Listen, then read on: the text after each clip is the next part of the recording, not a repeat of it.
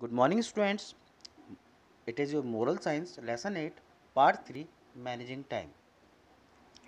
If a student works at his lessons regularly and in time, he or she will surely do better in the examination.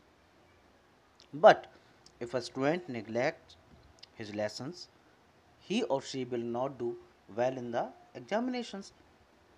Such students feel panicked when the examination approach. They burn midnight oil, skip meals and overwork to make up what they have lost. They try to achieve in a few hours what they should have done over several weeks and months. If a person puts off today's work to the next day, the work will pile up. Then a part of it will have to be put off to another day.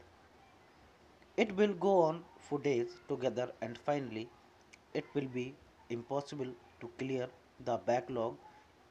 Evidently, putting off work always leads to worry and tension. It can even throw life out of gear. It is clear from the story given below.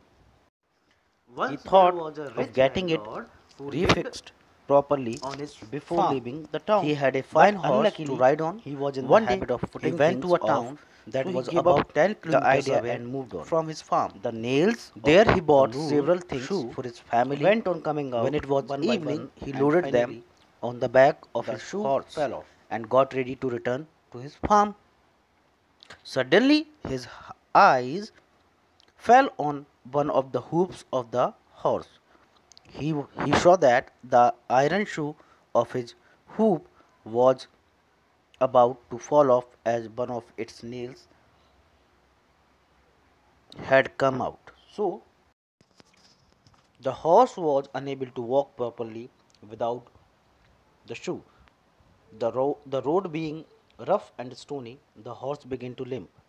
It was nightfall now, and darkness was prevailing fast. So the landlord whipped the horse to make it run fast, but the limping, the limping horse failed to do so. Before long, it fell on the ground and breathed its last. The landlord was at a loss to know what to do. The story clearly shows that the habit of putting off work causes worry and anxiety.